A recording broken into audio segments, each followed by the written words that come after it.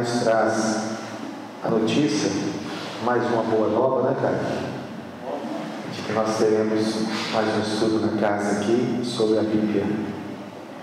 E ele relembra a questão das religiões, que foram conhecimentos institucionalizados, mensagens vindas de um plano mais alto da vida, de uma outra dimensão, as quais o ser humano se apropriou, institucionalizou, criou dogmas, criou escritos e divulgou da forma como compreendeu. Eu gostaria de, antes de começar, que, de saber quem aqui está vindo à casa pela primeira vez. A dona Sonja, dois, três, quatro, cinco, seis, coisa boa. Sejam todos bem-vindos, viu? É uma honra para mim poder falar para vocês, para todos nós, principalmente para vocês essa noite. Eu costumo pensar que não existem casos.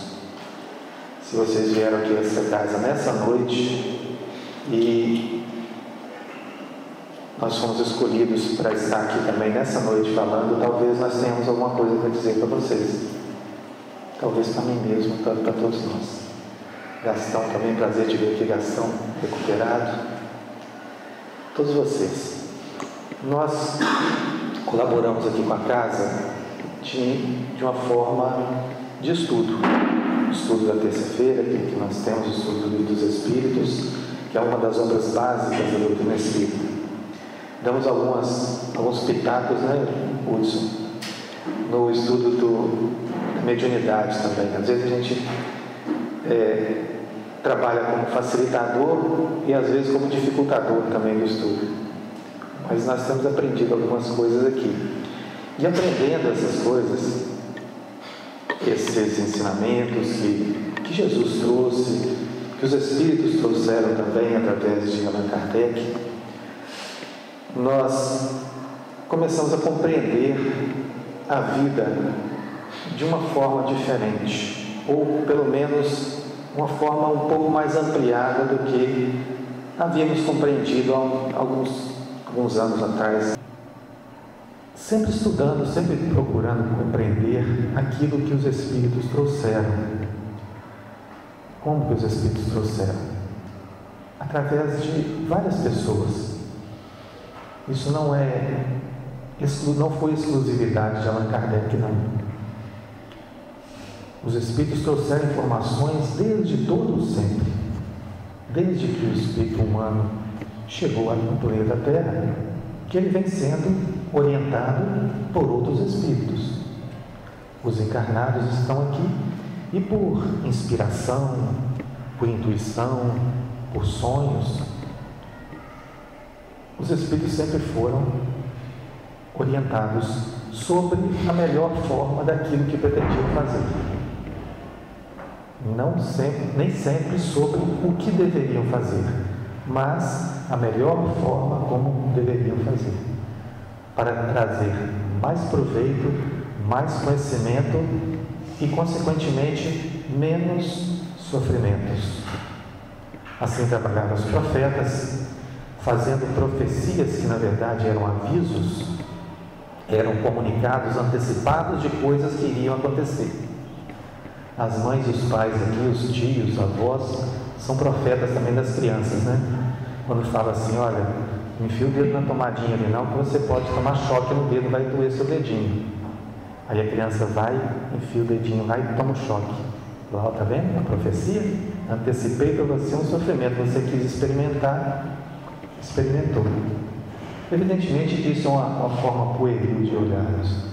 Mas nós temos vários profetas que trouxeram falas que se concretizaram, profetas de falas que não se concretizaram, como Jonas, por exemplo. Temos outros profetas também que acertaram as profecias pelas metades, ou pela metade, mas chegou um determinado momento que as coisas poderiam ser mais claras, mais objetivas. Isso culminou com uma relativa maturidade da humanidade, que foi por volta de 1857.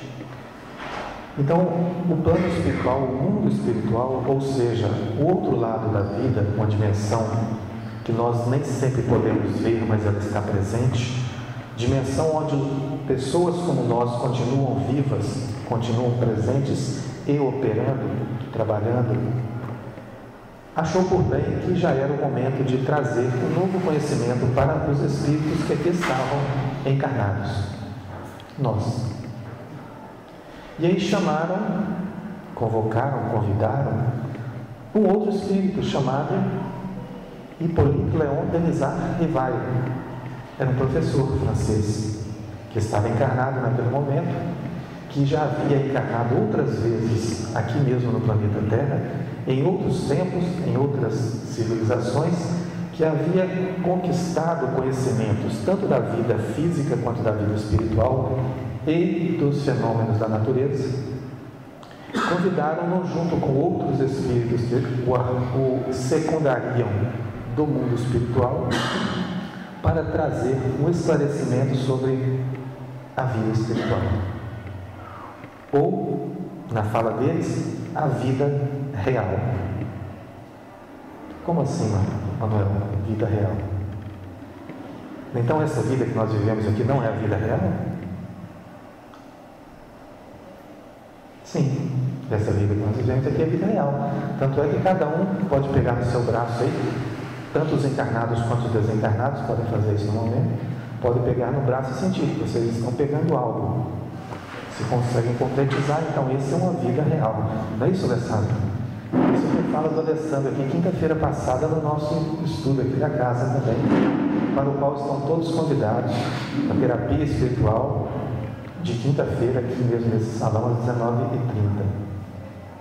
Então também é uma vida real, essa vida que aqui estamos, mas uma vida mais temporária do que a outra, que é a vida espiritual.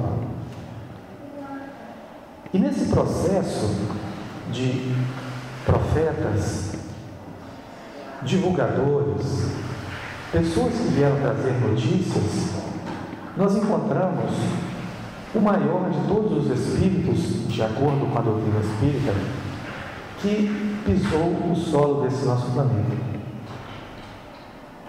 Era aquele moço chamado Yashua. Nasceu lá na Galileia, que nós aqui no Oriente passamos a chamar de Jesus, que foi o Cristo planetário. O que é um Cristo planetário? É um modelo, um Cristo é um modelo de perfeição. Modelo que é oferecido como perfeito para ser seguido, para ser observado e, vamos colocar entre aspas agora, imitado. Porque ali chegar-se-á a uma a um outro, a uma outra etapa da vida, a uma outra um outro nível de vivência espiritual. Então, esse Espírito Jesus, um Espírito de magnitude, de pureza, assim como é trazido pelos Espíritos também que estão do lado de lá, nos trazendo essas informações, um Espírito puro, perfeito, e quando se fala perfeito, é que não há nada que possa ser melhorado nele. Assim eu entendo. Não sei se é o entendimento de vocês. Esse Espírito foi trazido, foi, ele veio à Terra, habitou aqui em carne e osso, que é onde nós sabemos, reencarnou, ou melhor, encarnou, não, não reencarnou, encarnou, e passou por um período curto de 33 anos, alguns meses, falando única e exclusivamente de uma coisa. Essa é única, exclusivamente, tem que ser uma coisa, né? Português, porque tem, chefe. Uma coisa. O mundo espiritual. A vida espiritual e da imortalidade do Espírito. Essa foi a mensagem que Jesus veio trazer. Que nós que estávamos ouvindo éramos espíritos eternos. A partir disso, vieram todas as outras ramificações do seu ensino. Que o caminho é o amor, que o amor vai levar a situações de mais conforto espiritual, que existe uma divindade que, que coordena todo o universo, que ele chamou, a quem ele chamou de Pai.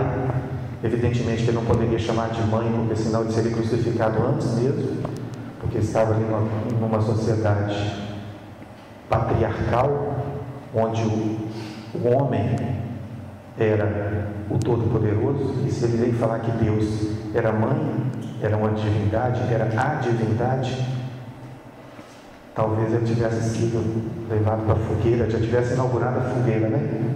Fogueira, porque naquele tempo era a crucificação. Mas faria até mais sentido, né? Se é Deus que cria tudo, quem é que cria? Não é a mulher? Não é a fêmea? O ato de parir não é não é como é que fala? Requisito? Especificidade. Especificidade da fêmea. Então, por que, que Deus, nesse caso, vai derrogar uma, um conceito diferente? E aí, o, o, o macho, né? É que passa a criar algumas formas de ver aquilo que foi trazido para nós como religiões. E talvez nós tenhamos abordagens desse tipo no estudo bíblico, que nós teremos aqui a partir do dia 1 de agosto. Aí a humanidade vai avançando e a compreensão da vida vai também se ampliando, até chegar esse momento em que chega esse Espírito aqui na Terra, já talvez é, cumprindo a uma profecia que foi feita lá por Jesus, nós vamos encontrar isso no Evangelho de João, capítulo 14.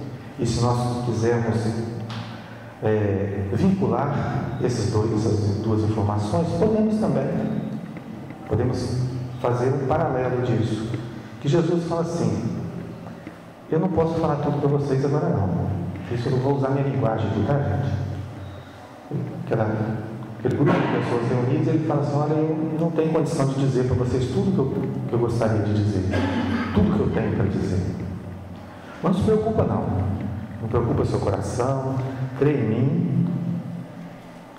E eu vou pedir ao Pai, que essa divindade que eu venho falando para vocês, para que venha a seu tempo um outro consolador Aquele vai dizer para vocês as coisas todas que eu não posso dizer e vai ficar com vocês até o fim dos tempos. Que fim dos tempos é esse? Se o espírito não vai morrer? Ou se ele estivesse falando para aquelas pessoas ali, aquelas pessoas iam morrer. Então não está falando naquele tempo ali, está falando um tempo mais para frente. Mas estava falando para eles que mandaria um outro consolador que falaria para eles aquilo que não quer dizer. Talvez eles estivessem dizendo: olha, esse corpo que vocês estão habitando hoje vai chegar um tempo que vai morrer, mas não preocupa não. Preocupa com isso não. Esse corpo vai morrer, mas vocês vão, vocês vão nascer no outro. E se não for nesse outro ainda que vier o Consolador, também não se preocupe não, porque vai vir um outro corpo. Você vai poder reencarnar de novo e de novo, até chegar a época em que vocês vão estar frente a frente com esse Consolador. E aí ele vai dizer para vocês que vocês não têm capacidade de compreender a vida. Mas esse tempo levou pouca coisa, durou 1800 anos também. O que são 1800 anos, né? Coisa toda para o Espírito. E lá nesse 1857, 1855, 56 mais especificamente, esse professor francês, o professor Hippolyte, ele viu e ele foi convidado para um, um espetáculo. A sociedade parisiense tinha isso como espetáculo. Isso acontecia na Rússia também. em outros países da Europa, as pessoas se reuniam para brincadeira. Era uma brincadeira bacana. Algumas pessoas se sentavam em volta de uma mesa, uma mesinha pequena, colocavam a mão sobre a mesa, se concentravam e daí a pouco a mesa se levantava. Mas eles não estavam segurando a mesa assim, não, com a mão fixa, eles, apoiavam a mesa, a mão. E a mesa se erguia. E era um espetáculo, a mesa subia, ela batia no chão, ela girava. E as pessoas achavam aquilo maravilhoso. Só que esse professor, ele já tinha alguns conhecimentos de magnetismo, de outras coisas mais relacionadas com o tema que pudesse trazer alguma hipótese para aquele fenômeno. E ele foi dar uma olhada falou, engraçado, mesa que gira. Mas tem um negócio curioso nessa mesa, porque as pessoas fazem perguntas para elas e fizeram um código com letra A, uma batida, letra B, duas batidas, letra, 3, letra C, três batidas e sucessivamente, ela batia no chão. E as pessoas perguntavam essa mesa respondia. Perguntas bobas. Ah, vai chover amanhã? Sim, não, alguma coisa dessa natureza. Ele falava, curioso, que mesa possa subir e descer? É, é muito comum. Mas que mesa possa responder perguntas inteligentes, possa elaborar pensamentos? Deve ter alguma coisa por trás disso. E ele começou a investigar com mais cautela. Ele ficou conhecido como o bom senso encarnado por alguns amigos dele. Ele foi observando com mais cautela e a partir disso começou a fazer reuniões na, na casa de uma das pessoas que também eram sérias, não estava ali para brincar. E foi informado para ele que aquilo que estava por trás daquele fenômeno era um fenômeno magnético, mas que tinha a participação de pessoas. Claro que tinha pessoas. Vocês estavam vendo ali? As pessoas estavam sentadas em volta? Não. Não eram essas pessoas só. Eram pessoas que, iguais àquelas que estavam sentadas, já haviam morrido. Estavam no mundo espiritual, fazendo com aquele fenômeno, com que aquele fenômeno acontecesse e respondendo aquelas perguntas, dando assim mostras de que as pessoas não morrem em definitivo. O que morre é o corpo. E aí, nesse momento, a partir desse momento, melhor dizendo, a partir desse momento, o professor Hipólito Leão passa a colocar métodos nesse estudo que ele passaria a fazer a partir daí. E aí algumas pessoas depois, agora mais recentemente, quando passaram a conhecer o Espiritismo, que foi daí que surgiu esse conhecimento, disseram mais ou menos assim, ou pensam mais ou menos assim, o Espiritismo surgiu como religião para provar às pessoas que existe reencarnação. Ok. Pode ser pensado assim também. Mas em princípio existe aí um equívoco, existe um engano. O primeiro deles é que do, o Espiritismo não surgiu para formar uma religião. Allan Kardec não queria formar uma religião. Aqueles estudos que ele estava fazendo tiveram consequências religiosas. Houve uma, um retorno de uma religiosidade para as pessoas que começaram a compreender a vida por aquele ângulo e se aproximarem mais de uma vida espiritualizada. Mas ele não veio constituir, não teve como objetivo constituir uma religião chamada Espiritismo. O segundo, segundo equívoco para esse, esse raciocínio, que Allan Kardec ele não queria comprovar, comprovar a reencarnação. Não era esse o objetivo dele também. A reencarnação veio como consequência do que ele queria comprovar. Ele queria comprovar cientificamente que os espíritos, que, ou melhor, que existia, em primeiro lugar, vida após a morte. E em segundo lugar, que essa vida, sendo daqueles que morreram, esses indivíduos que morreram poderiam se comunicar com o mundo dos vivos, assim ditos vivos. Então a pesquisa dele foi toda baseada nisso na imortalidade da alma. Que os espíritos, após desencarnarem ou morrerem, podem se comunicar novamente com os vivos. E aí, naquele momento, usaram a mesa que batia. Mais tarde, usaram a cestinha de vinho, amarrada uma lapiseira, e ali diminuiu, né? Que beleza, diminuiu o tamanho da mesa com uma cestinha de vinho, deve ter dado um, um ganho enorme de energia para os espíritos aí, né? Mais tarde, foi tirado a mesa, foi tirado o vinho, e aí o médico podia pegar a caneta, o lápis com a mão, fica muito mais prático. Percebe o processo como vai se aperfeiçoando? E dizem os espíritos, até nos dizem nas reuniões mediúnicas aqui, que o próximo processo da mediunidade é a intuição. Não vai usar nem papel mais, beleza? Não vamos precisar nem papel, porque a ligação vai ser mente a mente, mental.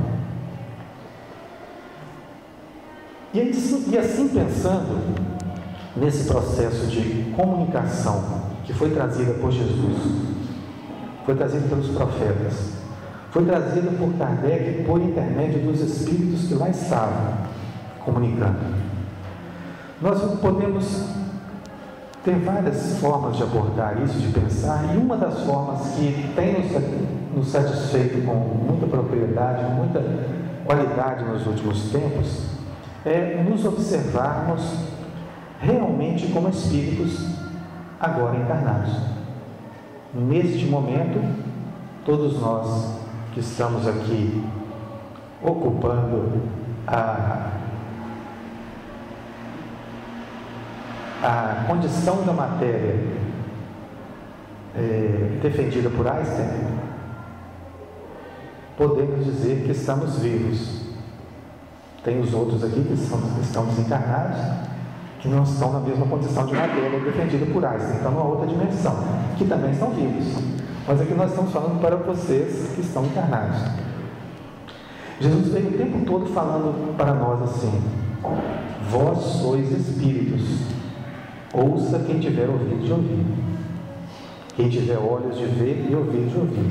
Tanto ele fez isso que foi levado a provar com todas as provas possíveis. Foi, foi preso uma cruz, morreu efetivamente, foi colocado no sepulcro no terceiro dia desse ato aí, ele ressuscitou. Ou seja, o Espírito se manifestou de novo. Olha, vocês estão querendo matar quem? Já está lá no, no, no, no, quinto mandamento lá de Moisés, há quatro mil anos atrás, não matarás? Vocês não vão conseguir matar. Isso é lei divina, não há morte. Talvez nós pensemos, não matarás o corpo, né? É uma regulação social. Não matarás o corpo, que é crime, não deve matar mesmo. Mas mesmo assim, tentar matar o corpo, você não vai matar o indivíduo, o espírito, porque o espírito não vai morrer. Então aquela coisa de bandido bom e bandido morto, conta um segredo para vocês aqui. Não acreditem porque isso não funciona. Outro segredo, baixinho, bem baixinho. E é pior ainda. Porque está invisível. Mata o bandido, torna ele invisível, ele vai dentro da sua casa e você não vê. E aí? Olha como Jesus já falava isso lá há 2018 anos atrás, nos dando essas informações e a gente não percebe essas coisas assim. Passa despercebido e nós, às vezes, lemos nas letras duras, nas letras frias. E Jesus fala assim: é necessário tirar do espírito, da, da letra que mata, da letra, o espírito que vivifica, o espírito que refresca a informação, a informação que é não apenas informação, mas o conhecimento que é eterno e é ampliável, porque a informação tem data de validade. Não sei se vocês já perceberam isso. Informação tem data de validade. Por exemplo, é, alguém aqui operou Telex na vida dele? Mentirosos. Ficou todo mundo caladinho para não, não, não, não delatar a informação, a idade, né? Então tá bem. Alguém aqui já leu o manual de fax? Agora sim, né? Para que, que serve isso? Hoje? Nada, né? Absolutamente nada. Informação tem data de validade. Conhecimento não. Conhecimento ele é duradouro e é ampliável. Então Jesus trouxe aqui, aqui nós temos o Novo Testamento, uma parte, uma fração mínima, microscópica do que Jesus trouxe, do que Jesus falou, e mesmo assim, dentro do entendimento que aqueles seus discípulos conseguiram alcançar. Percebe como que é limitado? Foi o que Jesus pôde falar dentro daquela primeira fala nossa, do Consolador, o que ele pôde falar. Dentro do que ele pôde falar, o que os seus discípulos conseguiram captar. Dentro do que eles puderam captar, aquilo que foi transcrito. E ainda mais dentro disso, o que foi permitido falar. Porque ainda tem isso. Aquilo que foi permitido falar para as pessoas através das religiões. Porque imaginemos nós, se num determinado momento abre-se a caixa preta das religiões do planeta e se estabelece oficialmente que ninguém morre. Já imaginaram a revolução que acontece nesse planeta a partir disso? A revolução conceitual, religiosa, dogmática, revolução de poder que acontece nisso? Aí talvez vocês perguntem assim, mas por que, que isso não acontece? Por que, que Deus permite que isso, isso ainda fique encoberto? Já está respondido. Porque Deus permite que isso fique encoberto. É permissão. É livre arbítrio. É a possibilidade que a divindade oferece a cada um de nós de buscar o seu conhecimento onde quiser buscar seja em qualquer linha filosófica, religiosa, doutrinária, é permitido buscar. Agora, cada um vai conseguir, a seu tempo, da forma como conseguir, da forma como lhe for oferecido, aceitar ou não aceitar, acreditar ou não acreditar. Vejamos um, trecho pequeno de um dos evangelhos que foram trazidos para nós, o Evangelho de Marcos. Vocês lembram de uma passagem em que Jesus, em que Marcos, Mateus e Lucas também contam isso, sobre uma tempestade que Jesus manda parar? Não tem isso? Alguém não conhece? Só levanta o dedinho para mim assim. Alguém não conhece essa passagem aqui? Uma, uma pessoa, duas, três, ótimo. Já tá, já, já tá bom. Então vou falar só para vocês três, os outros podem dormir, podem fazer o que quiser e tal. Mas já que vocês estão aqui, vamos conversar nós todos juntos. Olha só, Marcos fala assim: ele chama de a tempestade acalmada. E ele diz: naquele dia, ou seja, um dia qualquer lá, chegando o fim da tarde, Jesus diz-lhes, diz aquelas pessoas: atravessemos para o outro lado, o outro lado do mar, o mar da Galileia, o lago de Genezaré, onde eles circundavam naquelas aldeias falando sobre a Boa Nova, falando sobre o Evangelho. Então Jesus chega num momento e fala assim: atravessemos para o outro lado. Mas como é que você atravessa? Né? De barco.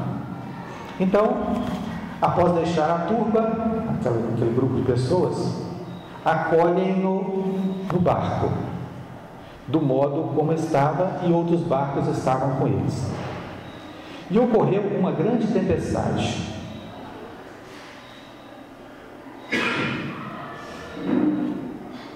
tempestade de vento e ondas se lançavam para dentro do barco, de modo a encher-se já o barco.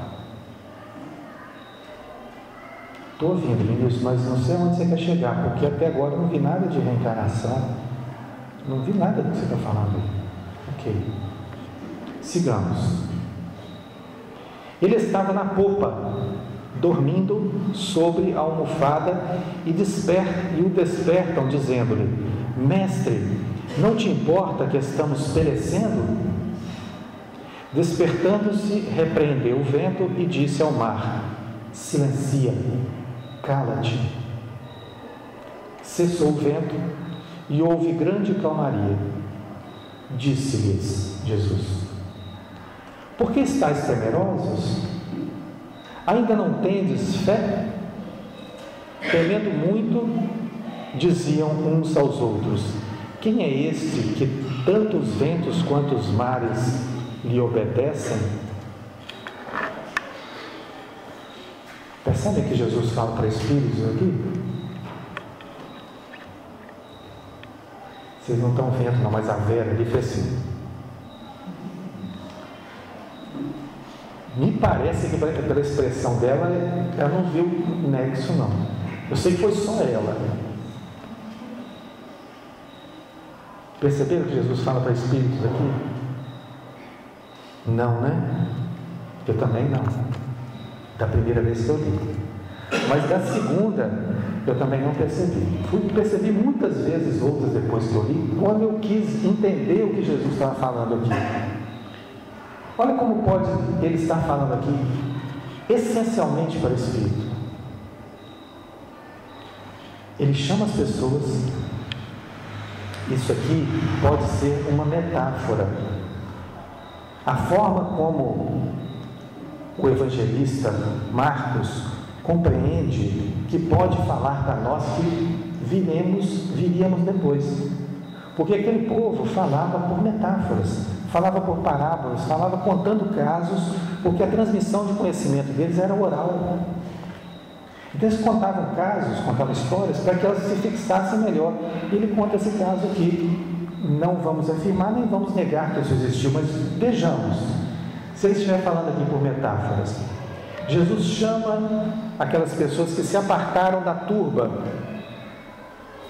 O que é uma turba? É aquela multidão de pessoas que nem sempre estão harmonizadas.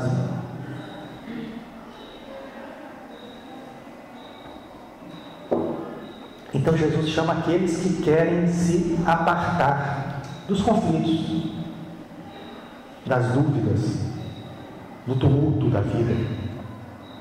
E aí ele entra no barco dessas pessoas. O que é um barco? Uma nave para se enfrentar uma jornada, para se fazer uma travessia nas águas. Poderia estar falando aí do corpo humano, que faz a primeira travessia dele é na água do útero. Ele chama aquelas pessoas, entra como conhecimento, como informação, como referência espiritual de um Cristo no espírito humano e empreende uma viagem juntamente com esse espírito ele presente como conhecimento, como exemplo. E a viagem segue, mas ele está na popa do barco, ele está lá atrás. Ou seja, nós vamos caminhando, mas nós deixamos sempre esse Cristo para trás. Ele vai ficando sempre atrás, nós só vamos enxergando para frente, a não ser quando a coisa aperta. Aí nós corremos lá atrás e acordamos o Cristo. Me ajuda, a coisa está ficando complicada. Os ventos estão batendo, os ventos da dificuldade estão batendo na minha casa. Está chegando doença na minha família. Eu perdi meu emprego. Eu estou com dificuldade de relacionamento dentro da minha casa. O meu filho começou a usar droga. Minha filha está querendo sair de casa com um homem casado. Eu mesmo estou em confusão, não sei o que eu faço da minha vida. Acorda, mestre, acorda que as ondas estão entrando no barco e o barco vai afundar.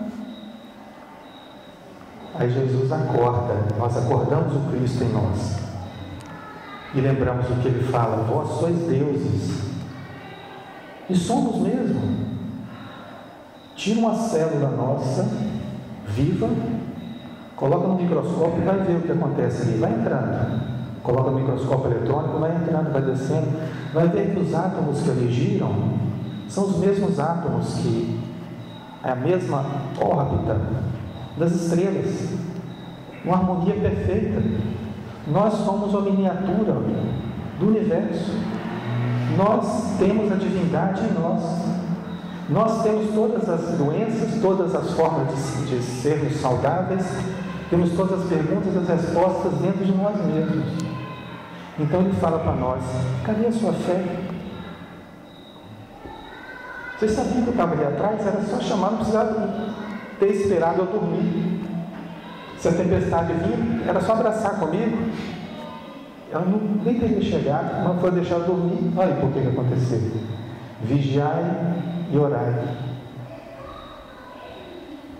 E aí Jesus vai, dar esses exemplos, e os evangelistas nos trazem em forma de parábolas, para que nós compreendamos de forma lúdica esses ensinamentos e contemos para as nossas crianças.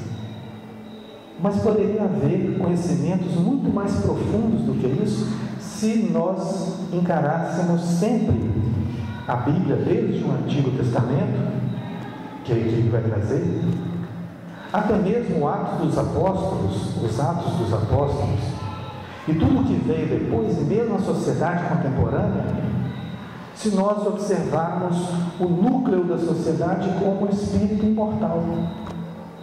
O ator social é sempre o mesmo, o espírito humano buscando se conhecer, buscando trabalhar a sua perfeição, que é o objetivo da criação, ser perfeita.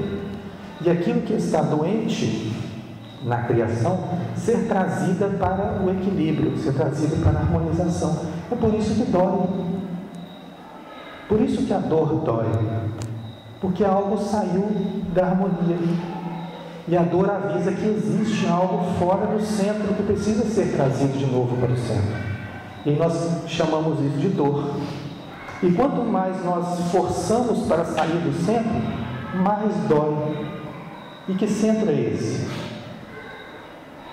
a lei divina, que é simples, imutável e eterna. Cada vez que nós ferimos a lei, tirando qualquer coisa que seja um átomo do eixo da lei, é uma lei de Lavoisier, lei de Newton, desculpe, quarta lei de Newton. Para cada ação existe uma reação de, em sentido contrário, mesma intensidade, para trazer de volta. É a lei divina trazendo de volta tudo para a harmonia. E se nós sairmos dessa harmonia, nós doemos emocionalmente, fisicamente, quanticamente, fluidicamente, religiosamente, politicamente. Então, essa nossa reflexão de hoje é buscando isso, nós compreendemos a presença nossa como espíritos nesse contexto de humanidade, contexto universal, contexto, se preferirmos, contexto cósmico. Nós somos parte integrante disso. Somos todos nós herdeiros do mesmo amor divino, que é essa lei, essa lei perfeita, a qual todos nós temos o mesmo direito, as mesmas benesses e também vamos assumir as mesmas responsabilidades. Descobri outro dia, Caio, que não existe jeitinho na lei divina. Não existe ela é a mesma para todos. Podia fazer um filme agora, né? Vou lançar um nome aqui inédito. A lei é para todos. Vamos fazer Lei Divina é para todos. Nova versão. Então, nós somos herdeiros dessa lei divina. Estamos envolvidos por ela, estamos protegidos por ela, não estamos desamparados. E aqui, essa casa é uma das escolas da vida. Existem muitas outras escolas da vida que ensinam essa mesma coisa, ou procuram essa mesma coisa, que é o conhecimento da imortalidade da vida, mas por outros caminhos, que também vão chegar a um entendimento que em determinado momento vai ser bom também para as pessoas, para os espíritos. E muitos espíritos, depois de desencarnados, aqui aportam para ouvir essas coisas também, estudar, compreender. E nós ficamos muito felizes de estarmos aqui já começando a compreender essas coisas. Essa reflexão que a gente traz é, são algumas descobertas que nós vamos fazendo ao longo da nossa vida.